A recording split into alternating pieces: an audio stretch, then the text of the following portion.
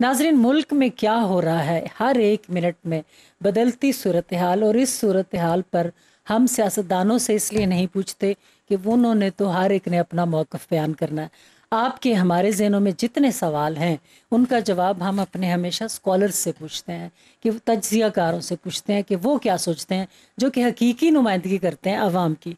दिन रात की बदलती सूरत हाल में जो ताज़ा तरीन है बात, उसमें आपने देखा कि परवेज़ इलाही को वज़ी अला नामजद कर दिया गया। और जो बात बहुत मुश्किल लग रही थी और जो एक दरीना आवाज़ थी बहुत सारे लोगों की कि बुजदार को हटाया जाए। बहुत सारी वजूहत थी, हम अपने शोज़ में बात कर चुके हैं। आखिरकार वो दिन भी आया कि बुजदार ने इस्तीफ़ा दिया और परवेज़ इलाही वज़ी अला नामजद हुए। वज़ी अला नामजद होने से पहले क्यों लीग के मुजाकर होते रहे? जरदारी से भी नून लीग से, ये सारे लोग आपस में मिलजुल रहे हैं।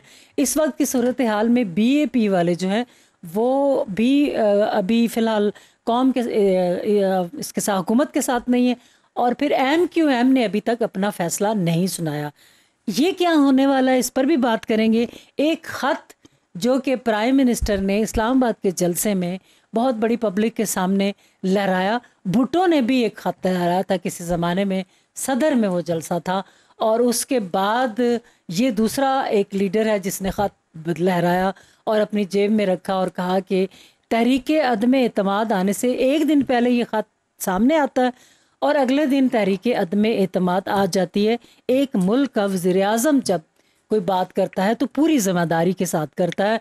उसमें कहा गया कि बहुत सारे ऐसे शवाहद मिले हैं ख़ास तौर पर हमारे एक्स वज़ी अजम जो कि लंदन में इस वक्त मुकीम है, उनके हवाले से कि उनके कई ऐसी जगहों पर रबते हुए जहाँ एक्स वज़ी अजम होने की हैसियत से उन्हें नहीं करने चाहिए थे। फिर इस ख़त का सिटिंग प्राइम मिनिस्टर को ख़त आना कि आप तरीक़ अदम अतमाद नाकाम होती है तो भी आपकी ज़िंदगी मुश्किल हो सकती है। तो ये जो सिलसिला है, हेनरी कैसेंजर ने भुट्टो को ये कहा था कि हम इबरत का निशान बना देंगे। क्या वज़ी अजम तहरीक अदम अतमाद कामयाब होगी या नहीं, इस पर भी बात करेंगे। लेकिन क्या वज़ी अजम के जो जो सारे बोल्ड स्टेप हैं, इस पर यह खारजा पॉलिसी जो हमने आज़ाद एक इख्तियार करने का सिलसिला शुरू किया हुआ है तो इसमें कहीं ना कहीं क्या प्राइम मिनिस्टर की जान को ख़तरा लाक है? और इस हवाले से सोशल मीडिया का दौर है। प्राइम मिनिस्टर ने कहा कि ये भुट्टो वाला दौर नहीं रहा हुआ। तब्दील हो गई है दुनिया। क्या अमेरिका को ये ख़बर है कि ये दुनिया तब्दील हो गई है? और अब उस अंदाज में वो काम नहीं कर सकता जो पहले किया जाता था। फिर हम देखते हैं जलसे में, मुझे समझ नहीं आती कि नवाज़ शरीफ का नाम आ रहा है जो कि प्राइम मिनिस्टर ने कहा। उसके बाद मरीम नवाज़ अपनी हर स्पीच में अमेरिका के प्रेसिडेंट्स का ज़िक्र करती हैं, जो बाइडन का ज़िक्र करती हैं, और हर तकरीर में अमेरिका का हवाला देना ज़रूरी समझती हैं। तो ये सारी चीज़ें क्यों हैं? लीडर, ये जो आपके इस वक्त मंजर है कि कौन किसकी तरफ़ जाएगा, इसमें वजारतों की भी डिमांड है, इसमें और भी बहुत सारा लेन देन है। ये जो सारा सिलसिला पैसों का, लोगों को ख़रीदने का शुरू हुआ था, सिंध हाउस को हमने ही कहा था कि चांगा मंगा बना दिया गया, वो आगे बड़ी शिद्दत के साथ बढ़ता चला जा रहा है। सवाल ये है कि लीडर डीलर नहीं होता। लीडर को डीलर नहीं होना चाहिए। तो ये सारी कौन सा मंजर है? इन सवालात का जवाब भी लेंगे। कोशिश करेंगे बुजदार के हटाने के बाद पंजाब में क्या सूरत हाल है, उसका भी बारे में देखें। और फिर हम ये भी देखें कि एम क्यू एम का फ़ैसला हुकूमत के साथ जाने का कितनी अहमियत रखता है और वो क्या फ़ैसला करेंगे और उनके मुतालबात हुकूमत से क्या होंगे। खान साहब अगर बुजदार को जल्दी हटा देते और एक साल पहले से अपने जहांगीर तरीन और बाकी के दोस्तों से मुशावरत अच्छी तरह से करते रखते तो आज उन्हें ये दिन देखना ना पड़ता कि जिस अंदाज में, चाहे ये एक तरह से सरप्राइज़ हैं जो निकलते आ रहे हैं, देते आ रहे हैं, लेकिन अक्लमंदी के साथ इन चीज़ों को पिछले साल से देखना चाहिए। ये कहने का मतलब ये है कि खान साहब अगले साल की चीज़ों को अभी से देखें। तो बाज़ मामला को अच्छा लीडर बहुत पहले से देखता है। आप तो दुनिया भर के लीडरों की मिसाल देते हैं। नाजरीन, मेरे साथ जो स्टूडियो में मेहमान मौजूद हैं, मैं उनका तारफ़ करवा दूँ। मेरे साथ सीनियर तजिया कार हैं जो कि इन हसास मौजूद पर उनसे बेहतर गुफ्तु नहीं कोई कर सकेगा। राना अब्दुल बाकी आपको वेलकम कहते हैं। मेरे साथ दूसरे भी सीनियर तजिया कार हैं और हमें ये भी उम्मीद है कि नाजरीन जो सुनना चाहते हैं या आवाम के जहनों में जो सवाल हैं उनके जवाब क्या हैं बहुत बेहतर अंदाज में दे सकते हैं। सीनियर तजिएगा जफ़रुल्ला क्रैशी हमारे साथ मौजूद है। आपको भी वेलकम कहते हैं। ये जो ख़त के बारे में बाद में बात करेंगे जो ख़त इमरान ख़ान ने जलसे में दिखाया और जिसके बड़े नाजुक अहम और हसास मामला हैं। और जब एक्स प्राइम मिनिस्टर का ज़िक्र आता है मज़ीद हसास और ज़िम्मेदार हो जाते हैं। लेकिन पहले बात करेंगे परवेज़ इलाही। बुजदार गए किस अंदाज में? ये तो उफ लिखा था हमने कि ये कैसे हो गया कि बुजदार। देर कर दी। परवेज़ इलाही का फ़ैसला जो किया वो दुरुस्त किया क्या कहेंगे आप? बिस्मिल्लाहिर्रहमानिर्रहीम। पाकिस्तान में जहाँ तक अदम एतमाद की तहरीकों का ताल्लुक़ है हम्म। फेडरल गवर्नमेंट के ख़िलाफ़ ये एक बहुत मुश्किल मरहला होता है कि वहाँ पर अपोजिशन को कामयाबी मिले हम्म। उसकी वजह यह है कि प्राइम मिनिस्टर जो है वो कॉन्स्टिट्यूशन के हवाले से भी और जो अपोजिशन की दोनों जमातों ख़ास तौर पे पीपल्स पार्टी और मुस्लिम लीग नून ने मिल के। जो अठारहवीं तरमीम में तरामीम की हम्म। वो तरमीम तो उन्होंने इसलिए की थी कि वो उनको सपोर्ट कर सकें और उनके ख़िलाफ़ तहरीक अदम अतमाद पास ना हो हम्म। सकें उस लिहाज से जो एक और फैक्टर है उसको भी जहन में रखना चाहिए जी कि जो स्पीकर की रूलिंग है हम्म। वो अदालतों में चैलेंज नहीं हो सकती हम्म। और ये दोनों चीज़ें मिलके एक काउंटर प्रोडक्टिव हो जाती हैं हम्म। कि कोई भी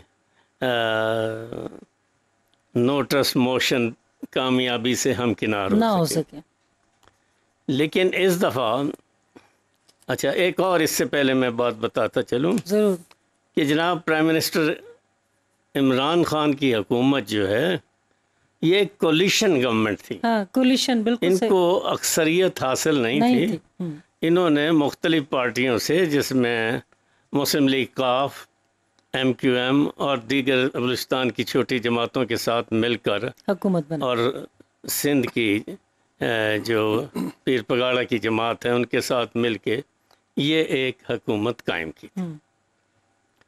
तो ये जो था एक कमज़ोर तरीन पहलू था हर कलिशन गवर्नमेंट का कमज़ोर पहलू होता, होता है। बिल्कुल होता। तो अपोजिशन ने क्योंकि ख़ास तौर पे जो मुस्लिम लीग नून की लीडरशिप है हम्म। और पीपल्स पार्टी की लीडरशिप है वो करप्शन के मुकदमात में बेतहाशा उलझी हुई हैं और उनके लिए बड़ा मुश्किल हो गया था कि अपने दामन को इमरान खान की हुकूमत के दौरान किसी तरीके से छुड़ाया जाए हम्म। तो ये उन्होंने जो कमज़ोर पहलू देखते हुए हम्म। उन्होंने उसको हिट करने की कोशिश की है और उसमें एक उनको सरकमस्टांशल एक अपॉर्चुनिटी भी मिल गई है वो इस लिहाज से कि जो प्राइम मिनिस्टर ने रूस का दौरा किया हाँ। उस वक्त किया जबकि रूस और अमेरिका के ताल्लुक जो हैं खराब थे वो यूक्रेन की वजह से यूक्रेन की वजह से इंतहाई तलखी की तरफ़ आ गए हैं तो ये इसको भी उन्होंने क्योंकि जो प्राइम मिनिस्टर ने अपनी पब्लिक मीटिंग में हम्म। और ये मैं समझता हूँ बहुत ही हिस्टोरिक पब्लिक मीटिंग थी हम्म। जिसमें बहुत ज़्यादा तादाद थी हम्म। और उस लिहाज से जो उन्होंने एक लहराया है कागज़ हम्म। लेकिन उन्होंने तस्करा नहीं किया हम्म। कि ये किस की तरफ़ से आया है ये लोगों के अंदाज़ों पे छोड़ दिया है तो लोग तो इसको और जो पॉलिटिकल इंटेलेक्चुअल्स हैं वो उसी हवाले से देख रहे हैं जो रशियन और अमेरिकन डिफरेंसेस पैदा हुए हैं उस हवाले से उसको देख रहे हैं हम्म। उसमें उन्होंने जनाब जुल्फ़ार अली भुट्टो का भी तस्करा किया जो आपने भी बात की। कि हेनरी कैसेंजर से। तो हेनरी कैसेंजर से उस वक्त जो भुट्टो साहब को तंबी की थी वो न्यूक्लियर हवाले से की थी। हम्म। कि आप ये एटमी सलाहियत हासिल करने की जो फ़िक्र है इसको छोड़। इसको छोड़ दें। तो उन्होंने जब उसका नफ़ी में जवाब दिया तो हेनरी कैसेंजर का कहना था कि हम तुम्हें मिसाल बना देंगे। मिसाल बना। और ये बड़ी इंतहाई अफसोसनाक बात अफसोसनाक थी थी और उसी हवाले से तो न्यूक्लियर नहीं कर रहे कुछ तो क्या उसी हवाले से फिर आ, जो है मुल्क में जमहूरियत का ख़ात्मा हुआ हम्म, और जहाँ ज़िया की हुकूमत जो है उसको मौका मिला। जी। तो ये लेकिन इस वक्त जो सूरत हाल है ग्राउंड सिचुएशन हम्म, वो फ़ौज की तरफ़ से इस तरह नहीं है। हम्म, हाँ। क्योंकि फ़ौज जो है वो माशाल्लाह पाकिस्तान की और पाकिस्तानियों की उम्मीदों का मरकज़ है। हम्म, और उनकी तमाम तर सलाहियतें दहशत गर्दी के ख़िलाफ़ और उसके और भारत की जानिब से आने वाली जो दहशत गर्दी है उसको की मौसर रोकथाम की तरफ़ है। तो ये लेकिन मैं असल में परवेज इलाही पे पहले आना चाहती खत पर आगे कोई बात हाँ। नहीं। लेकिन खत फिर खान को जो लिखा गया वो आज़ाद खारजा पॉलिसी रूस का दौरा और इस वजह से लिखा गया। रीज़न यही बनती है हम अपने दूसरे मेहमान को भी शामिल कर लें। कुरैश साहब बड़ी तेज़ी से एक तो अंदरूनी हमारे मुल्क के अंदर के लेन देन मामलात उहदों के बहुत सिंध से शुरू हुए चांगा मांगा की सूरत वहाँ और अभी आगे बढ़ते चले गए बढ़ते चले गए। हती कि खान साहब अब आके बुजदार को हटा दिया। परवेज़ इलाही को। और दूसरा हमारा ख़त वाला मामला होगा। पहले हम ये समझते हैं कि बुजदार को क्या खान साहब ने बहुत देर कर दी हटाने में और अब फ़ौरन जो परवेज़ इलाही का किया तो आगे चलकर वो मज़ीद भी कंप्रोमाइज़ करेंगे एम क्यू एम के साथ भी। इस सारी सूरत को किस नज़र से देख रहे हैं? अ, मैं शुक्रिया बहुत बहुत। मैं इस इस तरीके से देख रहा हूँ कि ये सारा जो सियासी इशू इस आया है वो फॉरेन पॉलिसी से आया इंटरनल पॉलिसी से नहीं आया पहली तो ये बात। बिल्कुल सही। 1947 से जब पाकिस्तान बना तो कायद अज़म ने ये कहा था कि ये एक नॉन अलाइंट मुल्क होना चाहिए। और 75 साल में सिर्फ़ दो लीडर्स आए हैं जो मैंने देखे एक जुल्फ़िकार अली भुट्टो था और एक इमरान खान। जिसने कोशिश एक्चुअली की कि ये नॉन अलाइंट मुल्क बन, बने। जुल्फ़िकार अली भुट्टो आपके सामने है कि उनका क्या हुआ था। और इस दफ़ा ये हुआ जो रूस का दौरा हुआ था आपके इसी प्रोग्राम में ये बात हुई थी जब ये दौरा हुआ था और उस वक्त मैंने भी यही कहा था कि ये एक बहुत ख़तरनाक स्टेप था इमरान खान का। लेकिन देखें इस वक्त दो चीज़ें पाकिस्तान के फेवर में प्ले कर रही हैं। नंबर वन अमेरिका का सदर बहुत ही कमज़ोर आदमी है और अमेरिका बहुत कमज़ोर फुटिंग पे है। बिल्कुल। दूसरा हमारी ऑपोजिशन बहुत कमज़ोर के अलावा डिसक्रेडिटेड हैं ये लोग। क्योंकि बिल्कुल सही स्पेशली रहे जो पीपल्स पार्टी है। Peoples Party has been a constant failure उनकी एक फेलियर नहीं है। जब भी उनको मौका दिया गया उन्होंने ये आपको सब सबूत दिया कि हम ना अहल लोग हैं हम इस काबिल नहीं हैं कि इस मुल्क को बना सके। हालाँकि इतना बड़ा बेनजीर के बाद सारा मंजर बदल चुका है। एक्चुअली भुट्टो बेनज़ीर में भी मेरे ख्याल में कोई सलाहियत नहीं थी। और अब ये पार्टी कौमी पार्टी नहीं रही है एक सूबाई। पार्टी। और सूबे के अंदर भी एक हिस्से की पार्टी है। बाकी पी एम एल एन जो कि हमारी एक प्रॉमिस थी हमारे मुल्क के लिए वो उनने जो चीज़ें की अफसोस के साथ ये कह सकते हैं कि इतनी चीज़ें सामने आई उनने अपने आप को डिस्क्रेडिट किया। तो इमरान खान के फेवर में जो बात जा रही है कि यहाँ पे लोग सब जानते हैं पाकिस्तानी लोग कि पीपल्स पार्टी और पी एम एल एन असल में क्या है। और वो ये भी जानते हैं अमेरिका बहुत कमज़ोर है। सो एक्चुअली इमरान खान के लिए बहुत अच्छी सिचुएशन है। और गिवन हिज पर्सनैलिटी तो वो मेरे ख्याल में कोशिश ये कर रहे हैं to make it a non aligned country अब जो एक और चीज़ मैं इसमें कहना चाहूँगा प्रॉब्लम क्या है? प्रॉब्लम ये कि आप गरीब होते हुए आज़ाद नहीं हो सकते। किसिंजर ने ये उसकी थ्योरी है कि फॉरेन पॉलिसी शुरू होती है जहाँ डोमेस्टिक पॉलिसी ख़त्म होती है। तो एक तरफ़ आप जाके अगर पैसे मांगेंगे दूसरी तरफ़ आप कहेंगे कि मैं नॉन अलाइंड हूँ खान तो साहब के साथ भी चल रही है।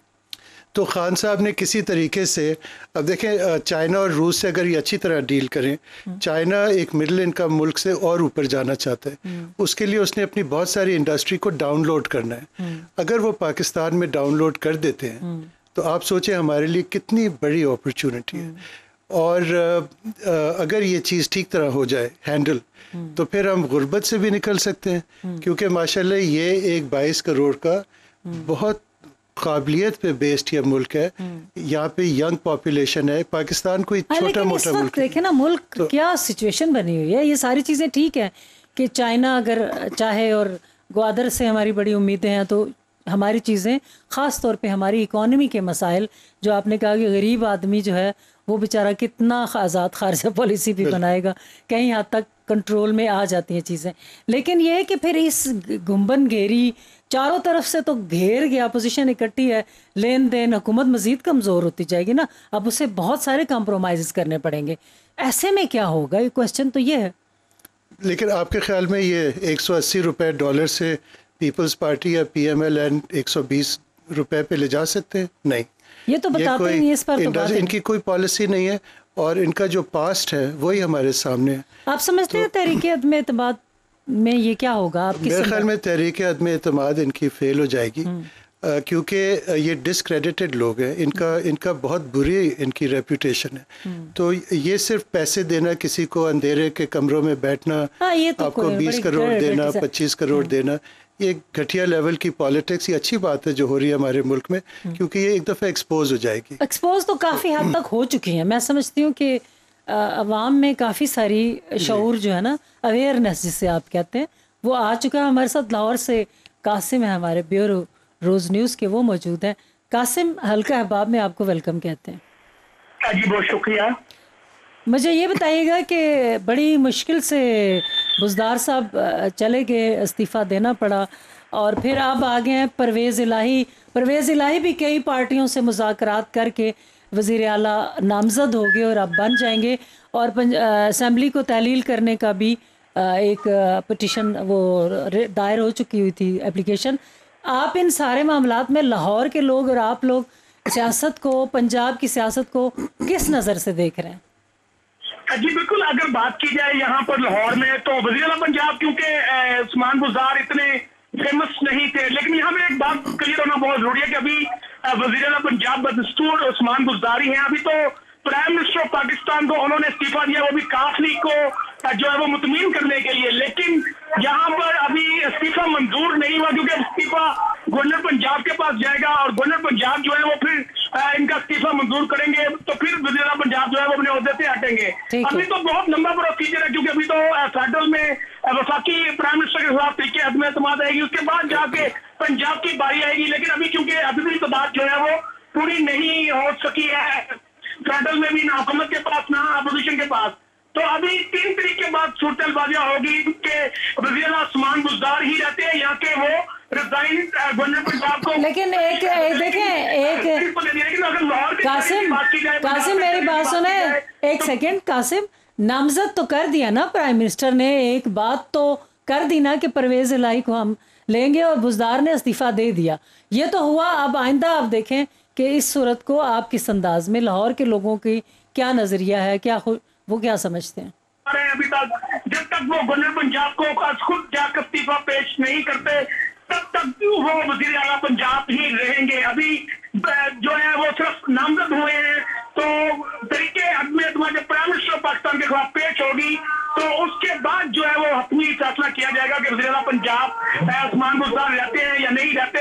अगर फेडरल में तरीके अदम एतमाद जो है वो नाकाम हो जाती है और प्राइम मिनिस्टर वहाँ पर जो है वो सरखरू हो जाते हैं। तो फिर वज़ीर आला पंजाब के खिलाफ शायद जो है वो पंजाब में तब्दीली मुमकिन ना हो सके। ठीक है। अच्छा ये बताएँ कि आप आ, का लोगों से जब मिलना होता है तो वो इधर फेडरल में प्राइम मिनिस्टर के अगेंस्ट जो तहरीकी अदम एतमाद है उसके बारे में वो क्या कहते हैं? कामयाब होगी या नाकाम होगी? ज़्यादातर लोगों का क्या क्या राय है? लोग ज़्यादातर लोग। देखिए महँगाई का तूफ़ान इस वक्त आसमान की बुलंदियों को छू रहा है। घी जो है वो साढ़े चार सौ रुपए लीटर हो चुका अब महँगाई को तो छोड़ देना। चीनी हर चीज़ महँगी हुई है तो आवाम तो बेचारी तंग पड़ी हुई है। अगर आवाम से हम बात करते हैं तो आवाम जो है वो अपना नफरत का इजहार कर रही है। वो चाहती है कि अब हुकूमत में जो है वो तब्दीली आनी चाहिए। तब्दीली अब ज़रूरी बन चुकी है ये आवाम कहती है। चले कासिम आपसे फिर बात होगी। बात यह है नाजरीन के जब आप महँगाई की बात पर इतने बड़े बड़ी चीज़ें महँगाई, जो कि कोरोना के बाद पूरी दुनिया में आई और हम समझते हैं कि प्राइम मिनिस्टर को महँगाई का मसला हल भी करना चाहिए था और किसी हद तक अब आवाम को रिलीफ भी मिली क्योंकि हम लोग जकड़े हुए थे। आईएमएफ बहुत सारे मसाइल में ऐसे में सिर्फ़ महँगाई को मद्देनज़र रख के वो जो ख़त के मंदरजात हम डिस्कस कर रहे हैं, आपकी खारजा पॉलिसी ख़त्म हो जाए, आपके प्राइम मिनिस्टर भुट्टो को धमकी दी गई थी आपके प्राइम मिनिस्टर को फिर धमकी दी जाए और ये अदम अतमाद से एक दिन पहले खाता है और फिर पैसों का लेन देन जिसको हार्स ट्रेडिंग कहते हैं, ये शुरू हो जाए, उसके इतनी बड़ी बड़ी मुल्क के लिए ख़तरनाक बुराइयों में महँगाई तो आज है, कल नहीं होगी। तो ये मैं समझती हूँ कि कौन सी आवाम है जो इस बात को हुकूमतें गिराने तक जोड़ती है? और फिर अपोजिशन क्या आपने सारी उम्र अमेरिका की ग़ुलामी करनी है? आज़ाद खारजा पॉलिसी पर आपका कोई हक नहीं है। आपने पाकिस्तान ने आज़ादी हासिल कर ली तो क्या आप सारी उम्र ग़ुलामी में रहेंगे? सिर्फ़ इसलिए कि सादगी इख्तियार कर लें। अपने बिल्कुल सूफियाज की तर्ज पे हमेशा मैं कहती हूँ कि आप ज़िंदगी में इस मुल्क पर मुसीबत है। भुट्टो ने कहा था ना, घास खा लेंगे और एटम बनाएँगे तो उसको इबरत का निशान बनाया गया। तो आज थोड़ी सादगी इख्तियार करके इस मुश्किल से दौर से निकल आए। तो ये आपके मुल्क की सलामती के लिए बेहतर है ना? ये अवाम का मुझे समझ में नहीं आती कि ये किस किस्म के। आप तहरीक अदम अतमाद को आप किस नज़र से देख रहे हैं, बाकी साहब? क्या होगा? ये अभी तक एम क्यू एम के भी अभी थोड़ी देर में हमारे साथ आप इन लोगों के जोड़ तोड़ सारे किस्से में तहरीक अदमाद को देख रहे हैं कामयाब होगी नाकाम होगी क्या होगा? एक दिन रह गया इसमें क्या समझते हैं क्या होगा? पहली बात तो यह है कि अदम एतमाद की तहरीक पैसे के लेन देन से ख़त्म नहीं हो सकती। ठीक। और इसमें करोड़ों रुपयों का तकसीम किया जाना एम एन एज में। तो महँगाई कहाँ गई और गुर्बत ये काम तो पहले नवाज़ शरीफ साहब ने शुरू किया था। मोहतरमा बेनज़ीर भुट्टो की हुकूमत के खिलाफ भी किया था असामा लादन से पैसे लेके जिसका हम्म। तस्करा होता रहा बीबी तो, ने अपनी किताब तो में भी किया है। तो हो रहा है तस्करा। तो ये उस ज़माने में जो 11 एम एन एज उन्होंने पीपल्स पार्टी के तोड़े थे हम्म। वो वापस आ गए थे वापस आ गए हम्म।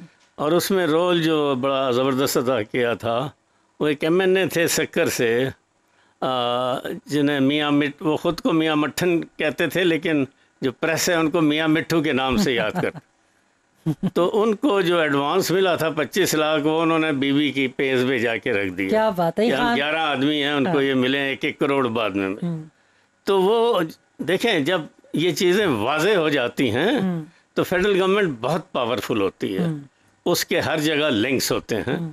तो वो उसको नाकाम बना सकती है हम्म। अब इसमें आप ये देखें कि जब तक प्राइम मिनिस्टर इमरान खान की ये एक हिस्टोरिकल पब्लिक मीटिंग नहीं हुई थी उस वक्त रोज़ जो बयान आ रहे थे अपोजिशन के वो ये आ रहे थे कि वो एक सौ बहत्तर से शुरू हुए और यहाँ तक पहुँच गए थे कि अब हमारे साथ 210 की हिमायत है। हाँ।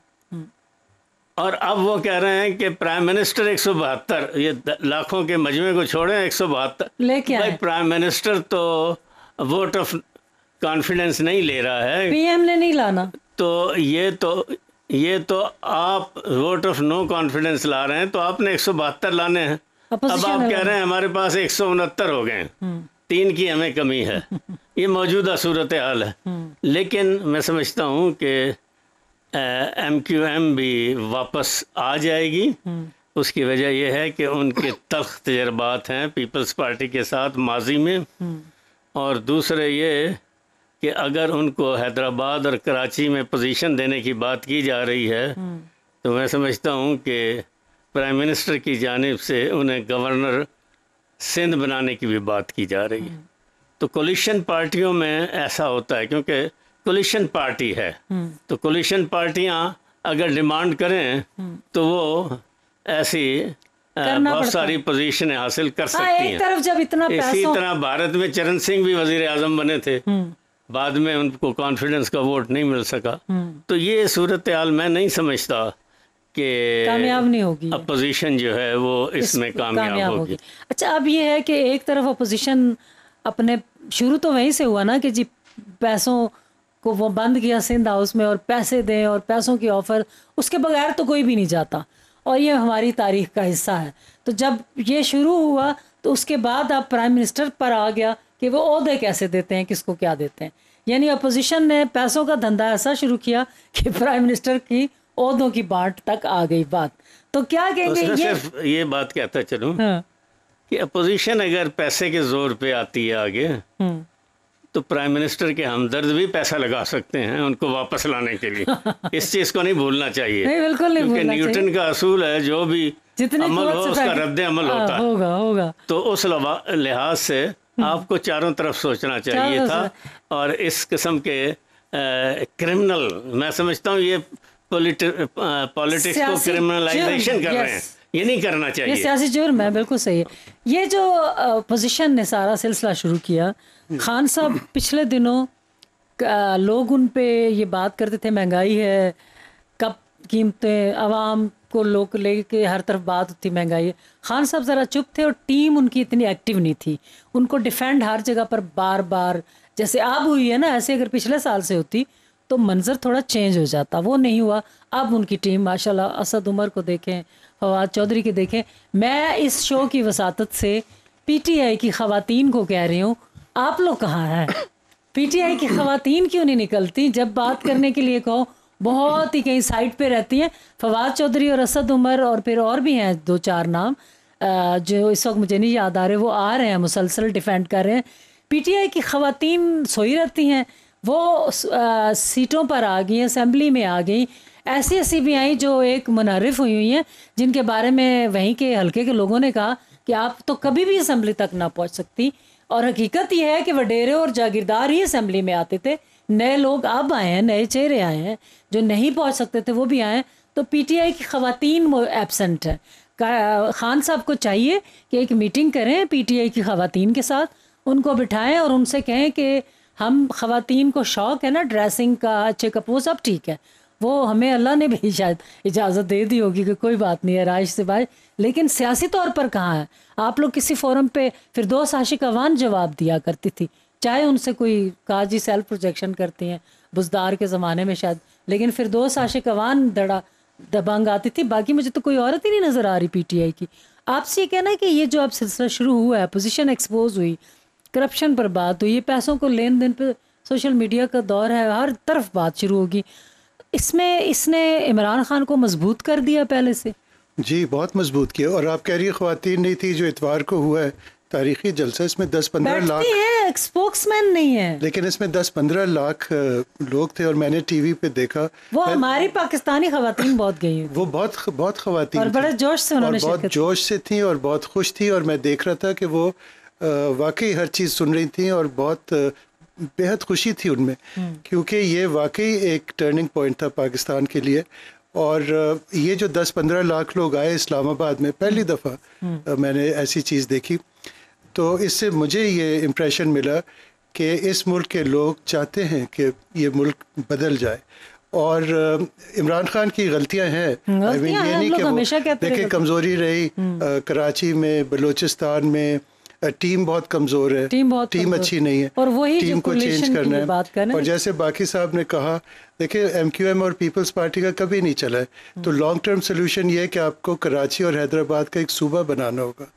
उसमें फिर ये उनकी डोमिनेशन से हट जाएँगे। जैसे सराइकी सराइकी सूबा बनाना है है। यानी बात तो- ये की ज़फ़र साहब ने कि जैसे सराइकी सूबे पर आप बात करें इसी तरह कराची और हैदराबाद का भी सूबा बनाना होगा ताकि ये वाले मामला हल हो। नाजरीन टाइम हो गया है ब्रेक का। छोटी सी ब्रेक लेंगे और वापस आएँगे।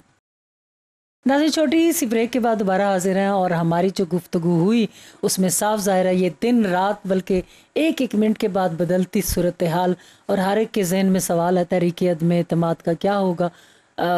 काफ़ी सारा पढ़ा लिखा तबका तो ये कह रहा है कि ये नाकाम हो जाएगी। और अगर एक सौ बहत्तर लोगों को लाने की लाज बात है तो वो इमरान खान ने नहीं लानी, वो अपोजिशन ने लानी है क्योंकि उन्होंने ये दरख्वास्त दी हुई है। और फिर जब हम बात करते हैं, बड़ी दिलचस्प बातें हुई हैं। सासी, सारी सूरत हाल में बाज़ बड़ी दिलचस्प बातें। ख़त का आना तहरीक अदम अतमाद पैसों का लेन देन ये भी सिलसिला चलता रहा। फिर भुट्टो के जाने के बाद वो जो कहते थे ना कि हर घर से भुट्टो निकलेगा और भुट्टो कल भी ज़िंदा था, भुट्टो आज भी ज़िंदा है।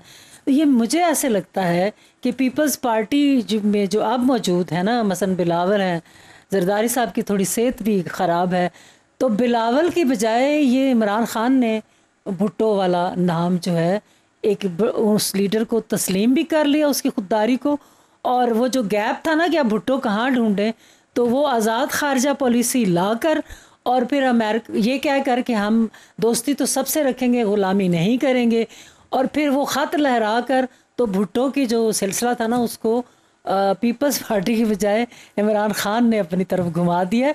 ये एक नई बड़ी दिलचस्प बात है। जलसे हुए यहाँ अगर हमने अभी तक बात की इमरान खान के जलसे की चूँकि हमारे जो मेहमान है, राना अब्दुल बाकी, ये जलसे में मौजूद थे, बहुत बड़े, ज़्यादा लोग थे, काफ़ी सारे तो रास्तों में भी स्टक थे। उसी दौरान मौलाना फजल रहमान का भी जलसा था और फिर मरियम नवाज़ भी हमज़ा शरीफ के साथ चली थी वहाँ से कंटेनर पे तो वो उन जलसों को भी यहाँ के लोगों ने अपनी आँखों से देखा। और ये नहीं है कि हमने अगर इमरान खान के जलसे में कम लोग होते तो हमें उन्हें बढ़ा के ज़्यादा बताना है, और मौलाना के जलसे में बहुत लोग होते तो उसे हमने कम बताना है। ऐसा नहीं है। अगर हम ईमानदारी से भी बात करें तो मौलाना के जलसे में वो आवाम नहीं होती, वो जो एक घर के अंदर से पूरे पूरे ख़ानदान निकले होते हैं वो इमरान खान के जलसे में ही होते हैं।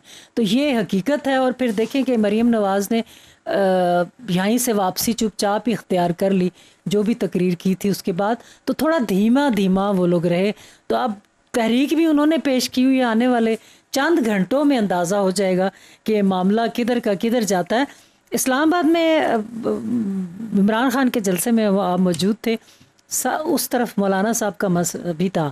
श्रीनगर के आसपास अ, देखते थे तो मदरसों वाले लोग नज़र आते थे, क्योंकि एक वो अपने अंदाज में दिखाई देते हैं कि ये हैं।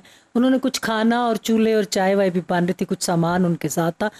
उनके जलसे में जो पाकिस्तानी घरों की आवाम है, जिसमें माएँ बहनें बेटियाँ बच्चे निकलते हैं, जो कि हमारे घराने हैं, वो नहीं निकले।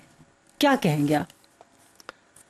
देखिए, इस्लामाबाद के जहाँ तक दोनों जलसों का ताल्लुक है मैंने कोशिश की थी कि दोनों को थोड़ा सा जाके देखें। देखूँ ताकि एक तकाबली जायज़ा लिया जाए। हम्म, और उम्मीद है कि ये जायजा आप बड़ी तो जहाँ तक के साथ बयान हाँ, करेंगे। तो जहाँ तक वज़ी अजम इमरान ख़ान के जलसे का ताल्लुक है उसमें तो मैंने बेतहाशा ख़वातीन को भी आते देखा। हाँ बहुत ज़्यादा आए थे। और वो क्राउड जो था मैं समझता हूँ कि पाकिस्तान की तारीख़ में कायद अज़म मोहम्मद अली जिना के बाद बहुत बड़ा इमरान ख़ान ने एक बहुत बड़ा जलसा किया है इस्लामाबाद अच्छा दूसरी तरफ़ भी गए तो वहाँ जहाँ तक पीडीएम के जलसे का ताल्लुक है तो मैं इसलिए जंप करती हूँ। जिसमें मरियम नवाज़ ने भी खिताब किया। हम्म। और ये दोनों उस का जलसे में जो कैफियत थी वो ये थी कि 90 परसेंट गैदरिंग जो है हम्म, वो मौलाना फजल रहमान के मदरसों के टीचर्स और स्टूडेंट्स थे। उनकी गैदरिंग थी। और दीगर जमातों की तादाद 10 परसेंट से ज़्यादा नहीं, नहीं थी। थी हम्म, तो मौलाना फजल रहमान से मैंने मुद्दबाना दरख्वास्त यही करनी है कि जनाब आप एक रिलीजियस क्लरिक हैं। उस तरफ़ जाएँ। आप जो करप्शन माफिया है उसको बचाने के लिए मत आ गया आप उन स्टूडेंट्स को क्यों इस्तेमाल कर रहे हैं जो जिन्हें इस्लाम की तबलीग के लिए होना चाहिए? और खुदावंद के जो कुरान हकीम में ला है उसको इम्प्लीमेंट करने के लिए वो उन्हें उस साइड पे आगे बढ़ना चाहिए।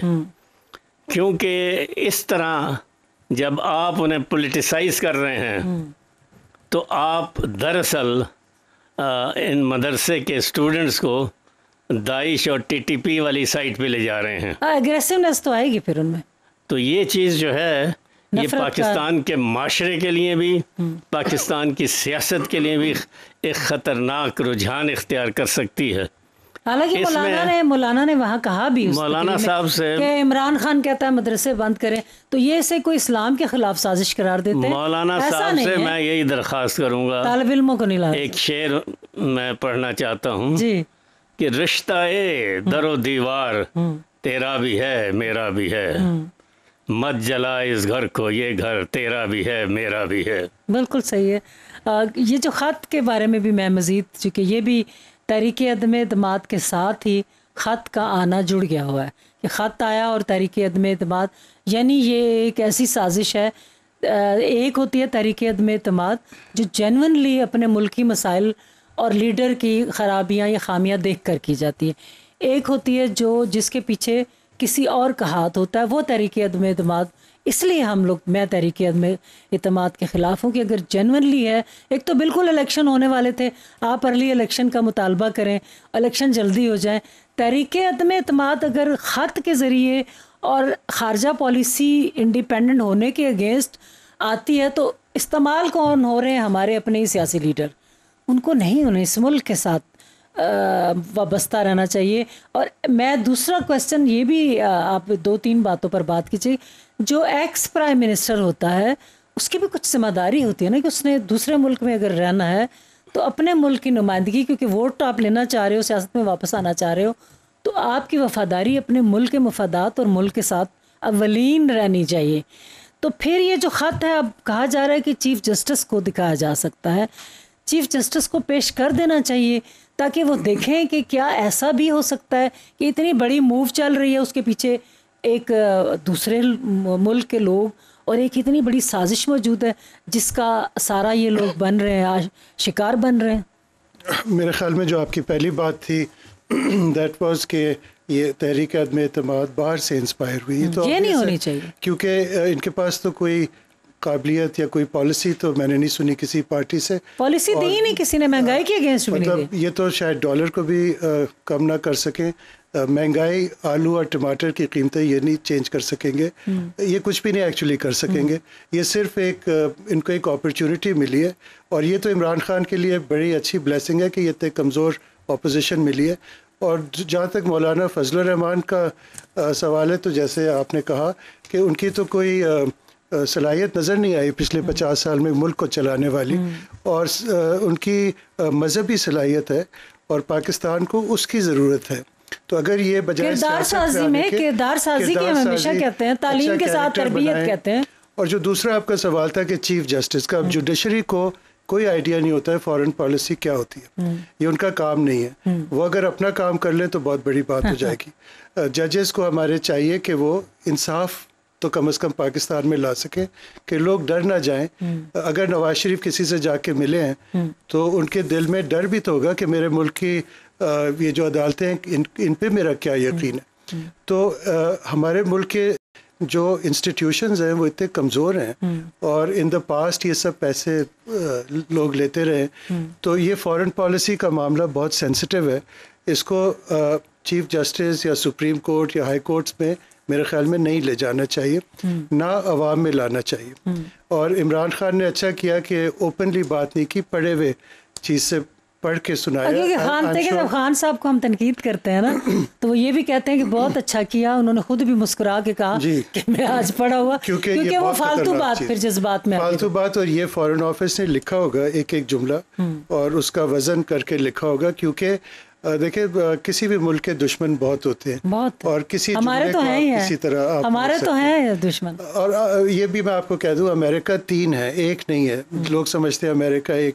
व्हाइट हाउस की अलग पॉलिसी होती है जो स्टेट डिपार्टमेंट पेंटागन की अलग होती है। पेंटागन और सीआईए की अलग होती है। पाकिस्तान एक क्लाइंट स्टेट रहा है। Hmm. It's not America Pakistan को कोई मुल्क नहीं समझता है। हम्म। वो समझता है कि ये एक फौजी इदारा है। हम्म। तो uh, वो सिर्फ़ uh, जयालक ने अफ़गानिस्तान में इसलिए जंग नहीं की कि वो बहुत बड़ा मुजाहिदीन का सपोर्टर था। वो अपनी हुकूमत एक्सटेंड करने के लिए की। हम्म। क्योंकि आपको याद होगा कि जब जयालक शुरू में आए तो क्लिंटन मिलना भी नहीं चाहता था। आपको जुमला याद है ये सेट के मेरे सात फुट के फासले पे भी ना आए। फिर इन्हें सोचा कि मैं कैसे अमेरिका की दोस्ती कर सकता हूँ। हम्म। तो इनको एक मौका मिल गया। तो बाकी सब झूठ है कि मैं बड़ा मुजाहिदीन अच्छा अमेरिका की दोस्ती से अब हम बाहर नहीं आ रहे आप समझ रहे हैं अमेरिका देखिए इस वक्त या माजी में बात करते हो तो नवाज़ शरीफ जब बैठता है ओबामा के सामने तो वो थर थर काँप रहा चिट्टे पढ़ रहे जिया साहब की आप बात सुना रहे हो कि वो इस अंदाज में तो कहीं अब हम कहीं तो निकले हाँ, ना। अच्छा इसमें मैं आपको एक बहुत क्योंकि मैं भी अठारह साल का था जब इंग्लैंड गया। स्टूडेंट और कल इमरान खान ने परसों संडे को कहा कि मैं अठारह साल का था जब इंग्लैंड गया। देखिए नवाज़ शरीफ और जरदारी शायद अंग्रेज़ों हम्म। को शायद अपने आप को गुलाम समझते हैं। हम्म। गोरों के जैसे गोरों की हुकूमत थी इधर 200 साल। जब आप उनमें रहते हैं जैसे मैं भी 18 साल की उम्र से 8 साल वहाँ रहा अंग्रेज़ कोई ख़ास चीज़ नहीं है। हम्म। पाकिस्तानियों को ये नहीं पता कि पाकिस्तान इंग्लैंड से बहुत ऊँचा मुल्क है। अच्छा इस पर तनकीद की गई अपोजिशन ने ये जो आप चूँकि रह के आए हैं। आप इस बारे में ज़्यादा रोशनी डाल सकते हैं और हम लोग इसीलिए सियासतदानों की नस्बत स्कॉलर से बात करते हैं कि वो बात आवाम के जज्बात की तर्जुमानी में। अपोजिशन ने कहा जी ये देखो अ, कह रहा है कि मैं लंदन से आता था तो मुझे पाकिस्तान बड़ा नज़र आता था तरक्की याफ्ता और ये है कि मैं भी इंग्लैंड गई हूँ अमेरिका गई। हूँ। आप बिल्कुल सही है ये हम बात लोगों ने पासपोर्ट तो नहीं लिया मैंने तो कोई ब्रिटिश पासपोर्ट अमेरिकन नहीं लिया मुझे तो अपना पासपोर्ट अच्छा लगता है। अ, क्योंकि एक डिग्निटी भी तो कोई चीज़ होती है ना। तो अब पाकिस्तान के लिए मेरे ख्याल में जो सबसे बड़ी बात हो रही है कि पाकिस्तान को और आपने कहा ना भुट्टो को यहाँ इनहेरिट किया क्योंकि भुट्टो ने कायद अजम की सोच आगे चलाई। इमरान खान ने कायद कायद-ए-आज़म की सोच, आगे चलाई। यहाँ कोई डायनेस्टी नहीं बन रही। इसी जब आप दरमियान में सारा गैप था जो खान ने फिल कर दिया अगर आप अपने बच्चों के लिए जायदाद बनाए और उनके बच्चों तो के लिए बनाए तो आपकी सोच और होती है। अगर आपके आप, आप आपके पास सामने मुल्क है। मुल्क है। एक अच्छा, तो ये ये कोई जायदाद नहीं है पाकिस्तान ज़्यादा ये यहाँ मैं हमेशा कहती हूँ कि मोरूसियत के इसलिए मैं खिलाफ हूँ कि आपकी जो प्रॉपर्टी है ना आपका आप, आ, मेरी कोई प्रॉपर्टी है तो वो मेरी नस्लों तक ही जाएगी। जी। ये मुल्क किसी की प्रॉपर्टी नहीं है कि एक खानदान या दो खानदान हमेशा के लिए हुकूमत करेंगे। कहीं ना कहीं आप समझते हैं क्या अ, सवाल मेरा बड़ा है मैं कि तहरीक अदम अतमाद नाकाम हो जाती है। उसके बाद क्या मंजर नज़र आता है आपको? देखिए इस पे शेख साहब ने भी बात की है कि ये तहरी कदम अतमाद तो नाकामी से मैं समझता हूँ जो मौजूदा सूरत हाल है वो नाकामी की तरफ़ और दो कदम आगे बढ़ गई है। लेकिन शेख साहब का भी ये कहना है कि नए बजट के बाद हम्म, इलेक्शन? इसी साल दोबारा इलेक्शंस हो सकते हैं। और ये मौका जो बिफोर टाइम इलेक्शन का है ये अपोजिशन ने प्राइम मिनिस्टर इमरान खान को हवाले किया है। क्योंकि जिस अंदाज से उन्होंने अपनी ये तहरीक शुरू की उसके रद्द अमल के तौर पे लोग ख़ास तौर पे पढ़ा लिखा तबका यूथ हम्म, और सबसे ज़्यादा मैं आपको बताऊँ गरीब तबका जिनके बारे में महँगाई का ये बात की जा रही है। वो भी इनके साथ वो। सबसे ज़्यादा इमरान खान की सफ़ों में शामिल हो गया। हम्म, क्योंकि जो एहसास प्रोग्राम और जो उनको यानी अब सेहत कार्ड के हवाले से भी फिर वो जो, जो उनके लिए बेहतरी आ रही है हाउसेस फिर भी वो वो देख तो रहे हैं लोगों को कि मुस्तकबिल में उनके साथ अगर कोई बेहतरी कर सकता है तो हाँ। तो वो ये शख्स है। हम्म, और तो उस लिहाज से मैं समझता हूँ कि ये मौका अपोजिशन ने फराहम किया है हम्म। री थिंकिंग उनको जगाया है पाकिस्तानियों को जगा दिया है खान की तो फेवर में अपोजिशन ने काम उस लिहाज से वो यही सोच रहे हैं कि ये जो करप्ट माफिया है हम्म। जिन्होंने पिछले तीस साल में इस मुल्क की दौलत को लूटा है हम्म। वो अपनी दौलत और सलाहियतों को आ, इसकी प्रोटेक्शन के लिए इस्तेमाल करना चाहते हैं तो आप समझते हैं कि अगर नाकाम होती है तो देन फिर अर्ली इलेक्शन होंगे और अर्ली इलेक्शन में ये ज़्यादा पॉपुलर इलेक्शन तो दोनों सूरतों में होने हैं। ना तो होने ही दोनों सूरतों में होते हैं हम्म। अगर कामयाब होते हैं जिसकी मैं मेरी जो फ़िक्र है जो तजिया है उसमें ये मुझे कामयाब होती नज़र नज़र नहीं मैं आती। मैं एक बात इसी के अपोजिट भी चलते हैं। लेकिन दोनों सूरतों में इलेक्शन होना। अच्छा, हाँ, लेकिन तो... दूसरी सूरत जब ये नाकाम होती है हम्म। तो पहले बजट पास होगा। अच्छा। और उस बजट के बाद फिर असेंबलियाँ जो हैं वो प्राइम मिनिस्टर खुद डिजॉल्व करेंगे। ये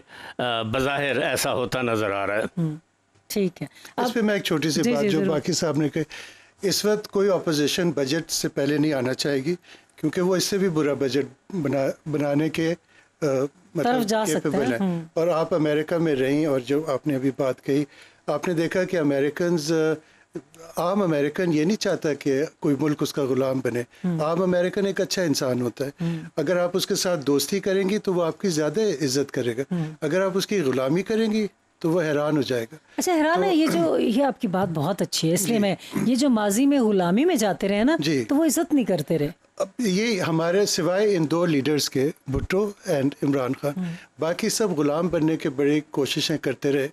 ज़ियाउलक ने 11 साल गुलामी की। अच्छा ये बताएँ टाइम थोड़ा है। जी। ये जो कहा गया कि तरीके अदम अतमाद नाकाम हुई तो खान को थ्रेट है कि जैसे उनको कहा गया तो तुम्हें निशान बनाएँगे यहाँ भी। खान ने कहा अब ज़माना बदल गया। खान की जान को ख़तरा हो सकता है। जी बहुत बड़ा ख़तरा है। इमरान खान की जान को बहुत बड़ा ख़तरा है। ये पाकिस्तान के लिए बहुत बड़ा टर्निंग पॉइंट है। और अच्छा किया इस चीज़ को सही तरह से हैंडल किया। मेरा ये ख्याल है कि ख़त दिखाना भी नहीं चाहिए था। देखिए फॉरेन पॉलिसी को आप जब सड़कों पे लेके आते हैं तो जो पीछे हाथ होता है जो इतना बड़ा हाथ है देखिए आप फेस करें कि हम कोई ताकतवर लोग तो नहीं है ना? हम लोग ताकतवर हैं कौम ताकतवर नहीं है। हम कमज़ोर तो खान ने जो फॉरेन पॉलिसी और ये सारी चीज़ें ओपन कर दी तो इसका क्या समझ गलती की है। गलती की। देखिए मेरे ख्याल में मैंने इधर आपको पहले भी आपके प्रोग्राम में कहा था इस तरह रूस नहीं जाना चाहिए था। हम्म। आप करें चीज़ें डिप्लोमेसी का एक टाइम स्केल अलग होता है हम्म। और उसकी एक शाइस्तगी और शुस्तगी और लिहाज कुछ राज में भी रखना। राज और चीज़ें हर चीज़ सामने नहीं हिकमत से काम लेना बसीरत से। क्या कहते हैं मैं इनकी तरफ़ दोबारा टाइम हुआ तो आऊँगी। खान ने अपनी जान हर चीज़ ओपन करके अगर उन्होंने भुट्टो को कहा था तो खान साहब कहते हैं कि अब ज़माना बदल गया है अब किसी की जान को ख़तरा इतना नहीं डाला जा सकता। लेकिन हर चीज़ ओपन करके कहीं उन्होंने ख़तरनाक खेल खेला। देखिए इसमें एक तो बात बड़ी वजाहत से है कि जहाँ तक भुट्टो साहब का ताल्लुक है उस वक्त वेस्ट के अलावा जो कम्युनिस्ट कंट्रीज़ थे वो पाकिस्तान के पीछे नहीं थे। सोवियत यूनियन डिजॉल्व हुई। हाँ इसीलिए कह रहे हैं हालात तब्दील हैं अब। अब रशिया और चाइना चाइना सी पैक के हवाले से ये दो इकोनॉमिकली भी बड़ी ताकत है चाइना इस वक्त। ये अब पाकिस्तान की पुश्त पर हैं। तो ये कोई इतना आसान काम नहीं है अमेरिका के लिए कि वो इस किस्म की साजिशों में अ, उनकी एजेंसियाँ ज़रूर शामिल होंगी लेकिन मैं समझता हूँ कि उनकी होती तो लीडरशिप को जो बाइडन को ख्याल रखना चाहिए कि पाकिस्तान स्ट्रेटजिकली एक बहुत इंपॉर्टेंट कंट्री है और बजाय इसके कि पाकिस्तान को वो की हुकूमतों को गिराने की कोशिश करें मैं समझता हूँ कि इकोनॉमिकली अगर वो सी पैक में शामिल हो जाएँ तो उसका ज़्यादा फ़ायदा उठा सकते हैं। तो इस लिहाज से आ, मैं नहीं समझता कि कोई बड़ी ताकत इस वक्त पाकिस्तान को आ, पैसे के ज़ोर पे ख़त्म कर सकती तो है। इमरान खान को जो उन्होंने थ्रेट खत में मौजूद है तो उन उसको खतरा नहीं हो सकता। तो इमरान खान ने ख़ास तौर पर देखे ना जहाँ अमेरिका की हिमायत में आके रिलीजियस ताकतें जो हैं वो इस्लाम से रू गर्दानी करके सियासी करप्ट लोगों को सपोर्ट कर रही है। वहाँ इमरान खान जो है वो अय्याह का नाबदू व अय्याह का के नारे से दूसरे उन्होंने अपनी तकरीर आप में समझते हैं टाइम बिल्कुल इकबाल। एक मिनट रह गया कि सऊदिया और यूएई वगैरह ने भी अब अमेरिका से उन्होंने भी नज़रें हटाई। देखिए वहाँ पे भी री अवेकनिंग है। वहाँ भी है। और उस लिहाज से तब्दील हो रही है वो जो ये इस्लामी फोबिया के खिलाफ करारदाद आई है यूएन में इस पे जो मुस्लिम रियासतें हैं उन उन्होंने भी खुशी का इजहार क्या किया। कहेंगे? एक मिनट का तो सिर्फ़ है। बस मैंने ये कहना है आखिरी कि जनाब इमरान खान जिस अंदाज से इस मुल्क को लेके चल रहे हैं उन्होंने जिना और इकबाल का तस्करा भी किया अपनी हम्म। तकरीर में तो मैं चाहूँगा दो शेर उनकी खिदमत में अर्ज़ कर दूँ। क्योंकि वो जो कुछ कर रहे हैं वो शिकवा जवाब शिकवा के हवाले से कर रहे हैं तो क़ुव्वत इश्क से हर पस्त को बाला कर दे। हाँ, दहर में इसमें मोहम्मद से उजाला कर दे। कि मोहम्मद से वफा तूने तो हम तो हम तेरे- हैं। हाँ। ये जहाँ चीज़ है क्या? लौह कलम तेरे हैं। बिल्कुल तो ये इस्लामोफोबिया वाला अच्छा एक- खुदाबंदी हर चीज़ को नल एंड वाइट कर, कर सकती सकती है। लास्ट एक जुमला ये इस्लामोफोबिया वाला जो भी हो गया यूएन में शामिल हो गया कि मनाया जाए। ये भी बेहतर एक फैसला। ये अच्छा हुआ लेकिन बाकी साहब ने जो कहा देखें मुस्तफ़ा कुरैशी की मूवी पाकिस्तान को नहीं बनना चाहिए।